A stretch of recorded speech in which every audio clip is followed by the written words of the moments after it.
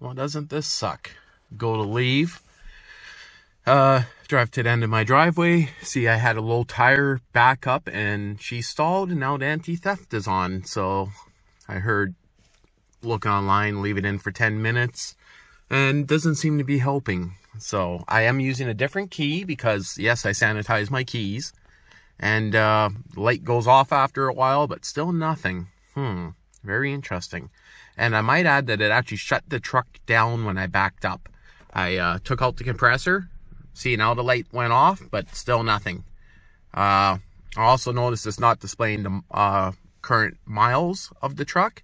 Now the light's back on and it'll blink five times or maybe it's six times and then once and then it continues. Very interesting. So, and again, turn the key, absolutely nothing. And it did shut the truck off. Weird, hey? Okay, so looking online, it seems like it could be a bad ground issue uh, because I'm getting the dashes across, not communicating the kilometers. Well, a good thing I was at Princess Auto and I uh, picked up a lot of battery cable. Well, just a welding cable here. I got 25 feet of it.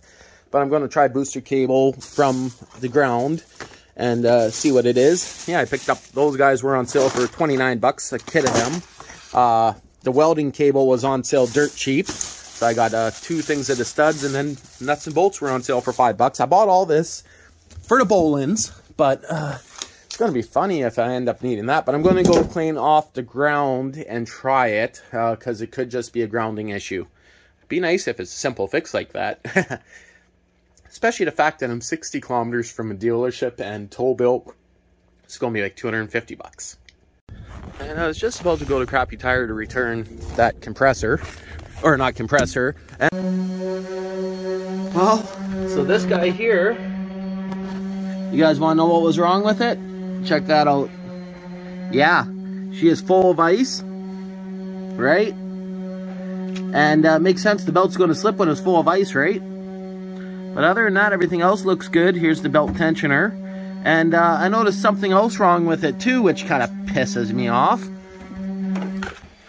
Look at this.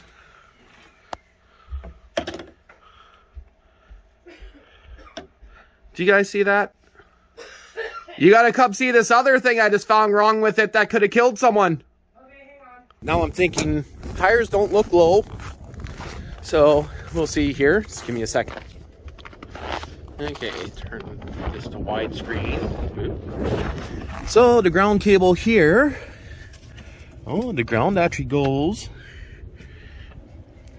into there. Huh. Uh, might be interesting. Huh, I think my boot's a little broken there for the steering. It's just the boot.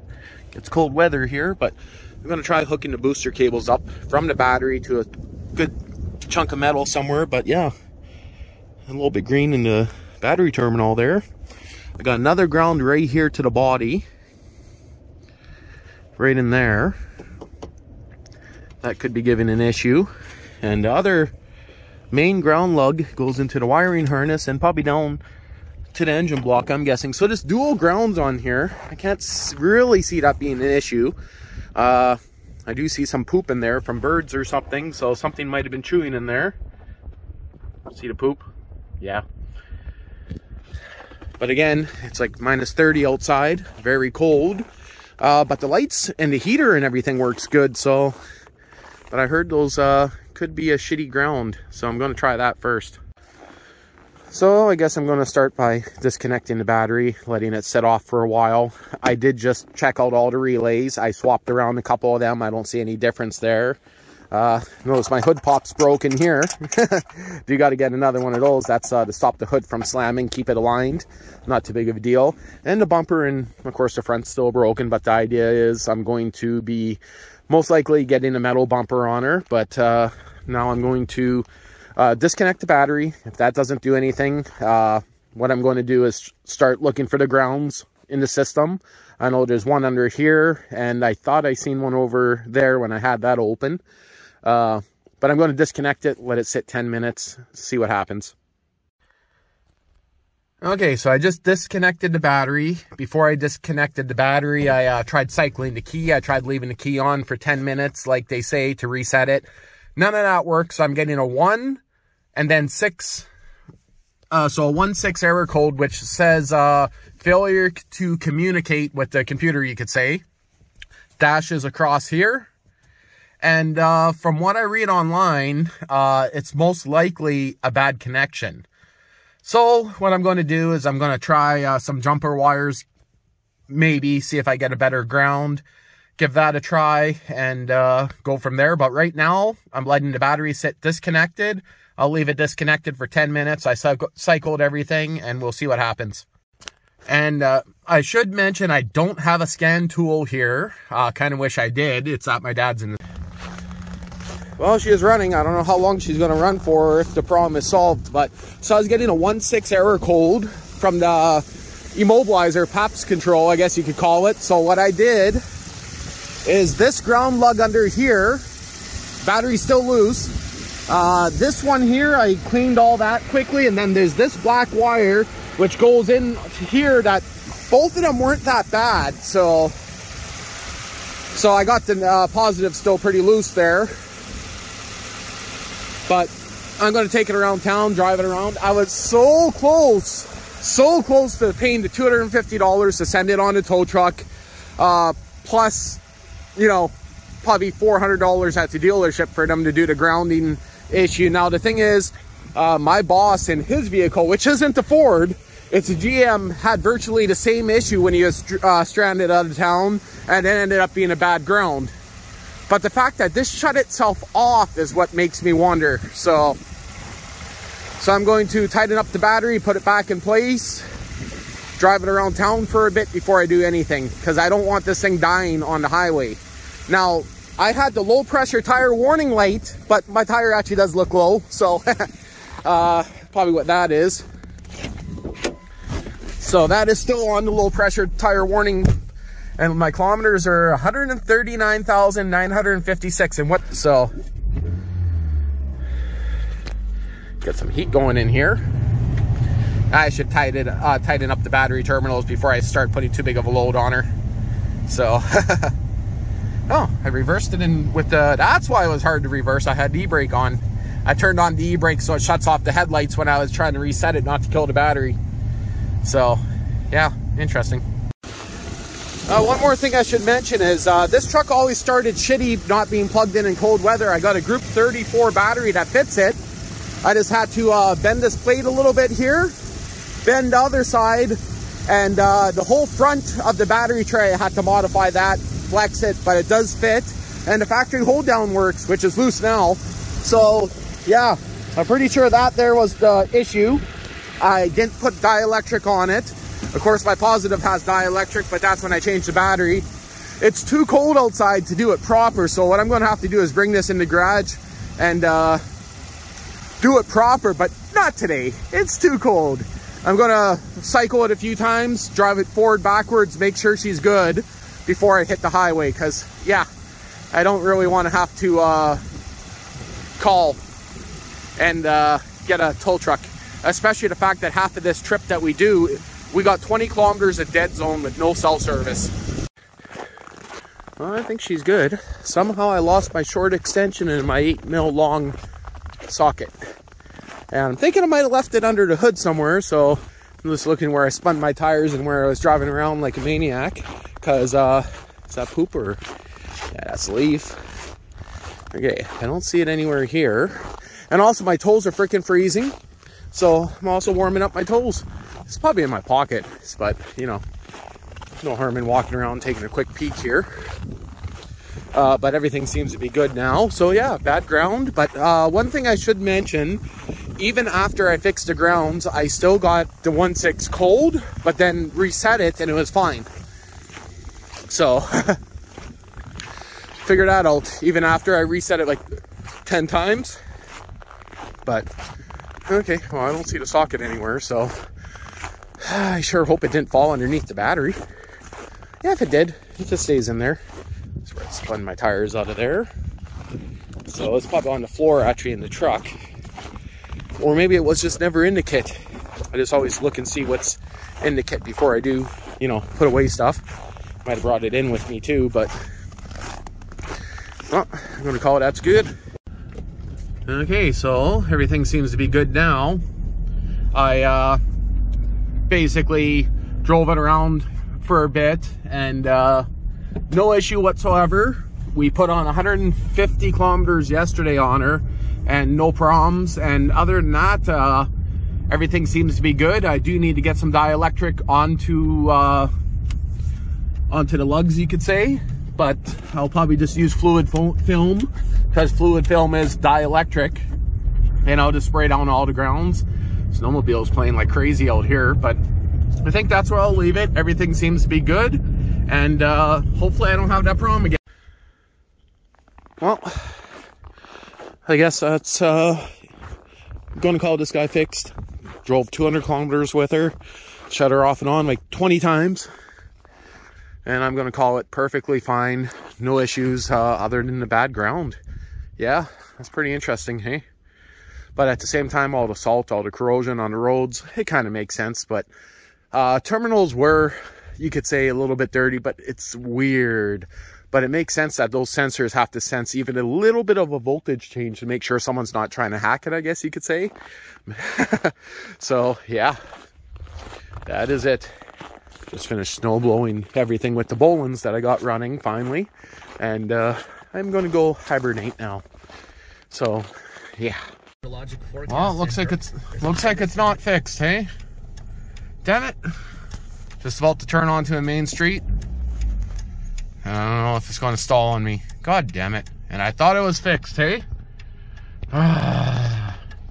you can see what I'm seeing? Yeah. Just on my way home from work. Well, no gauge cluster. Let's see what happens. Yep. Same as before. Absolutely nothing. Okay, well, that sucks.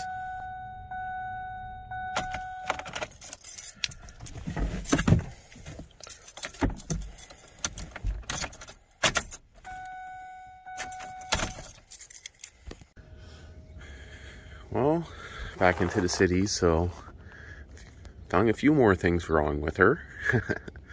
I either got about an hour to get her fixed. I was able to park it, or I got to take that to work. But I think this is just for the loom, but that bolt is very loose. Underneath is the ground going into the harness. These here all look pretty bad, but that's all just recent. It wasn't that bad the other day. Uh, the engine ground up there, so I'll be doing those two. But it is, again, very cold outside, so I'll film if I get it working. the old man's de-icing his seal or his uh rooftop with hot water.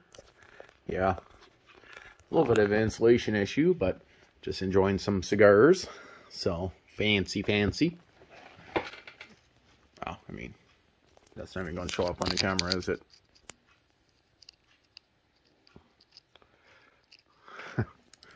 And uh, deciding if I'm going to bring my truck in here and uh, do some wiggle tests on the wires under the dash.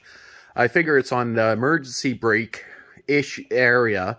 Now, when I originally backed up my truck in my driveway, I thought it stalled, but maybe it didn't.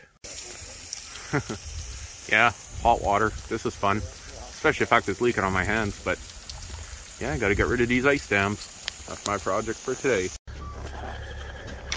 And there goes my truck on the tow truck there.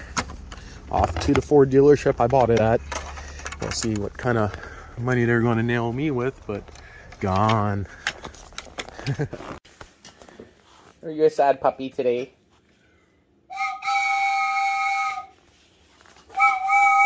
Nope. Doesn't work.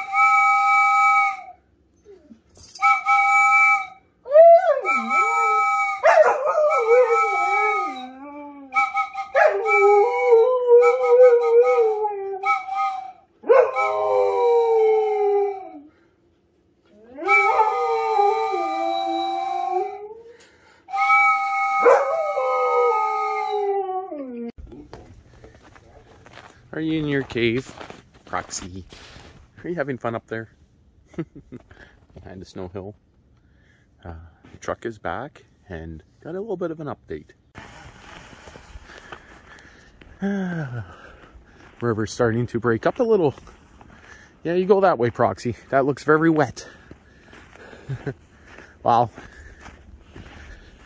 Yeah, it's pretty slushy. And so is it going to be through here. nah, it's pretty good in here.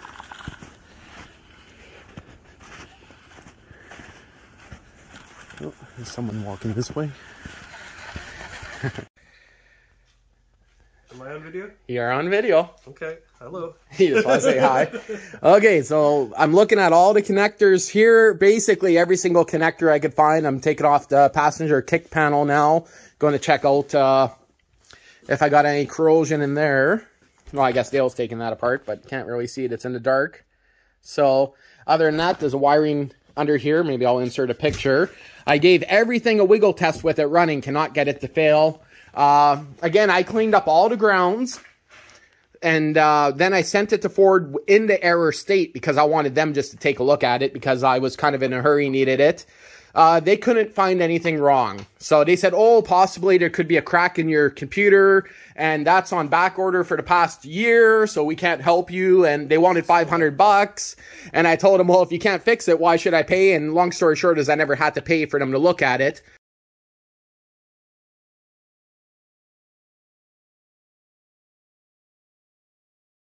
had to pay for them to look at it. Uh, but all they did pretty much was pulled the main ECU and uh, the truck started back up, and that's exactly what I did at my house. Unhooked the battery, truck started up perfectly fine. PATS proved out. Again, it's getting a PATS 1.6 error code. Now, the PATS controller is actually kind of a hybrid system. Half of it's in here, and half of it's in the gauge cluster. So at the same time, when the truck so-called stalled at my house, I actually thinking now the truck never stalled. The gauge just died. Same thing had happened when I was leaving work. So for me telling Ford that the truck died, that might kind of screwed things up because it never died. I shut it off to try to restart it, but it was already running. Just never caught that because, you know, I was backing up at my house. Uh, so long story short is I checked all the connectors. There is signs of moisture in those, but no corrosion, just a little bit of wetness, but it could also be factory dielectric grease. Uh, basically, I'm just checking over every single connector I could find and uh, go from there. Again, did a full wiggle test, wiggled all the wiring, got my hands everywhere, wiggled it. I even took it on a hell of a shit kick on the way back from Ford. And again, I drove 500 kilometers with it, but is this going to be an issue that's only in cold weather? Really hard to say. Again, Ford was not able to solve the issue. They did verify that I got proper power there. Now, I did change and clean up the two grounds at the back firewall before I sent it to Ford, and I did not reset the battery because I thought best way to send it to them is in an error state instead of when it's running. Because if it's running, yeah, it would be hard to track down. So this could be one of those gremlins that might possibly only happen in cold weather. Uh, I am now going to start pulling apart some connectors under the dash. Uh, there's the big one right there. Again, passes the wiggle test, and I was pretty hard on it. Uh, down here, I'm going to pull off this cover, the main junction box here for the power. There has been so many people that had issues with rust and corrosion, but I stuck my hands back up in there, wiggled everything in there when the truck was running, could not get the same symptoms. Uh, but I guess we'll go from there. It could just be, again, moisture underneath it. Really hard to say.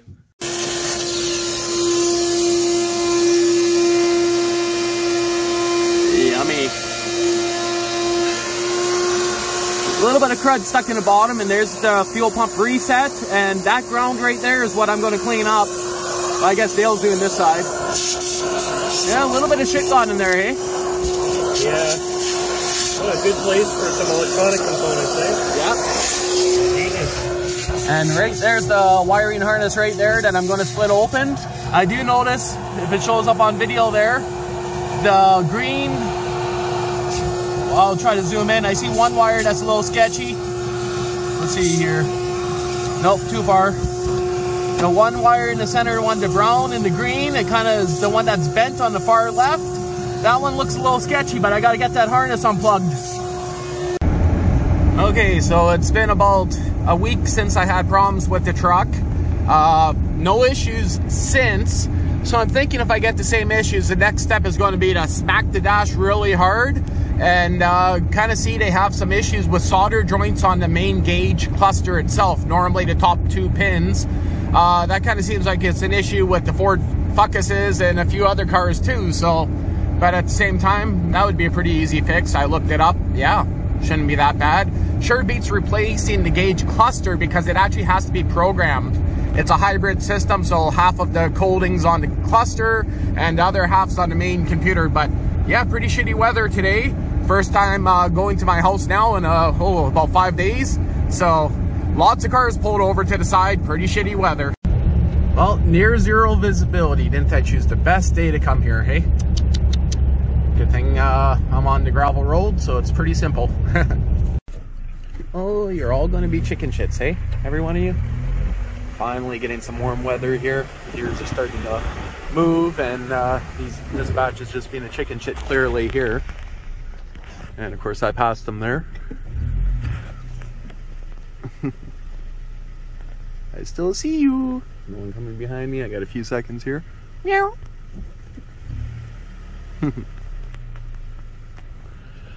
yeah. But starting to warm up finally. Starting to melt. And uh, no issues whatsoever with the truck. So that's a good bonus. So maybe I'll upload a video and say it's fixed. Hard to say. it's been, uh, oh, a thousand kilometers, I don't know, something like that in a couple weeks. Oh, are you kidding me? You're not even going to focus, hey? There we go. yeah, I wonder why that lens isn't focusing no more. Weird. Just was watching the deer run by, but that sucks. see it. Yep, there's one. I was gonna say, see if they come out bouncing out around the corner here. Try that second lens again. There we go. I don't want to scare them because they don't want to jump up into the deep snow. And I guess that one doesn't really care too much. Oh, there's this trail. That's the trail that goes up. There's the other three uh, running up ahead there, clearly. Four, five of them. Wow, they're everywhere today. Holy. So, well, brought my truck to my dad's uh, wanting to work on it and find out his uh, spring exploded. Yeah, it's broken right in the center of the screen there, where the gap is. Or, oh, that's not to work. Uh, okay, it's broken right there. And uh, yeah, so the door's not to open with one spring broken. We just probably snap the belt. This is a belt drive opener. But uh, I was giving Proxy some of her food and uh, yeah, when that broke, it must have really went flying. wow. Guess I won't be rotating my tires and doing an oil change this week. So my dad has to find someone to come install that because to be honest, it's uh, pretty close to the ceiling there and uh, it could be done with, you know, special pry bars, you could say, or pipes, round stock, I guess, and you just crank it. Uh, but with the cable on there, the setup, it's not a job I would want to do, that's for sure. Probably better off to uh, pay to have that one done, but yeah. Bet you there's a lot more attention on that one spring right now.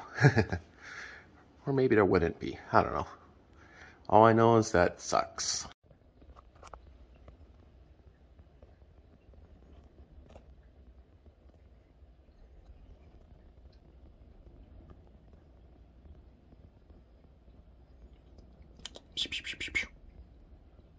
Meow.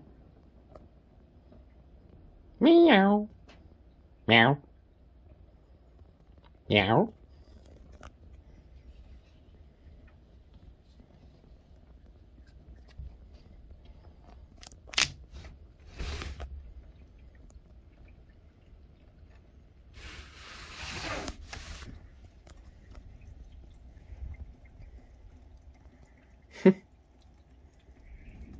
What, now you're going to be a chicken shit?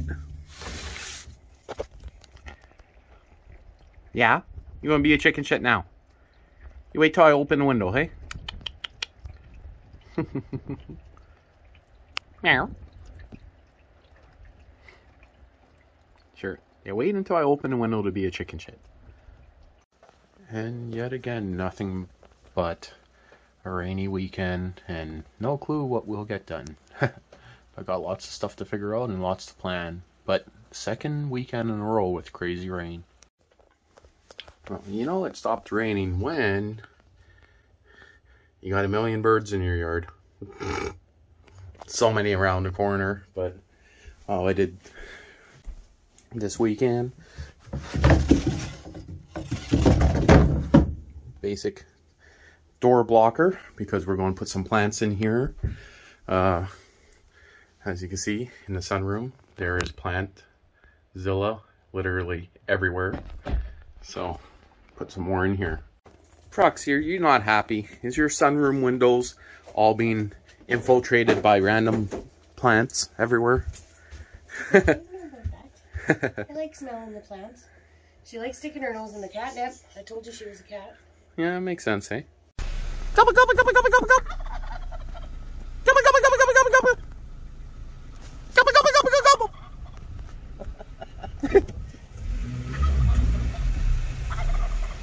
Ooh, look at him shake his tail feathers for you. gobble. Gobble, gobble, gobble, gobble. Phew, phew. You want to come home and be dinner? No? You're just, you're just lucky I don't like turkey. I am a turkey. I don't need more of it. Well, I guess I should finally finish up the video about the truck. I got 142,700 kilometers on her. And uh, I guess it's three months now, maybe two months, I don't know, since I've been having issues with her. And uh, yeah, I guess everything's good. Now, again, I cleaned up all the fuse, fuse, or fuses. I cleaned up all the grounds, pretty much all the ones I could find. And uh, I'm starting to wonder, it might have just been a moisture issue that the gauge cluster had to dry out. Because, you know, bringing it inside my dad's shop, leaving it sit there for hours, going in the Ford, sitting inside overnight. Uh, it could just be a moisture issue.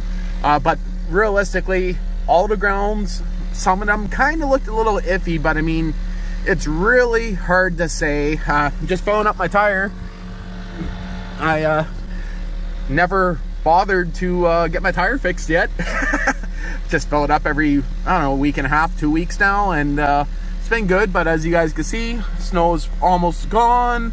Uh, not much happening, but rain, rain, rain, flooding, rain. No flooding, flooding in my yard, but I mean, lots of people are flooding. But I'm gonna call this done. I'm gonna upload the video again. Maybe I didn't solve the problem. It could have been a moisture issue, but at the same time, it's been going two months now without a single issue and running perfectly. Great fuel economy. Probably resetting the computer helps with that, but plenty of power and no issues whatsoever.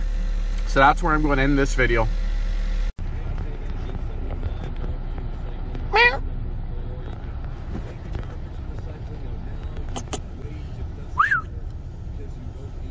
You want to be a brat? Meow. Again? Sure hope you're not the same one. huh, I guess this year we got turkeys. Yeah, I have seen them before out here, but yeah, that's very interesting. Well, I guess I'll shut this off, but lots of turkeys out here this year. Well, that's where I'm going to leave the video with the truck again. I've been driving it for, I don't know, two or three months now. Not a single issue. Most of the snow is melted, warm weather. Uh, those issues were all happening during the cold too. So I don't know, it's weird. but just on the way back into the city, seen a couple turkeys and about eight deer and what looked to be a fox in the distance. So lots of wildlife out this spring, that's for sure.